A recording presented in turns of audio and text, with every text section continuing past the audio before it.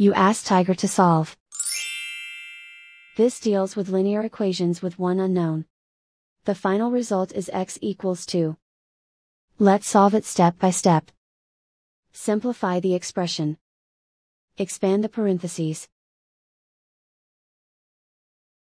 Multiply the coefficients.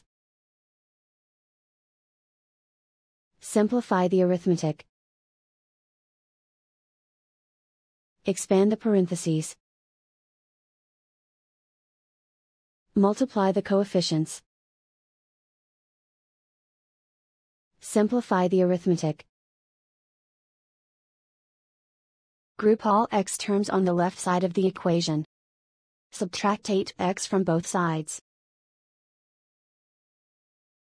Group like terms.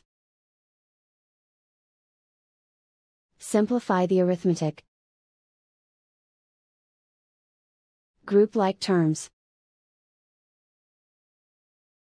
Simplify the arithmetic.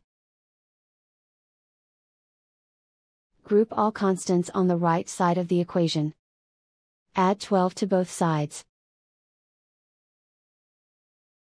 Simplify the arithmetic.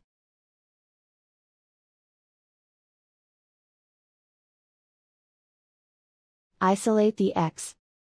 Divide both sides by 7. Simplify the fraction. Find the greatest common factor of the numerator and denominator. Factor out and cancel the greatest common factor. And so the final result is x equals 2.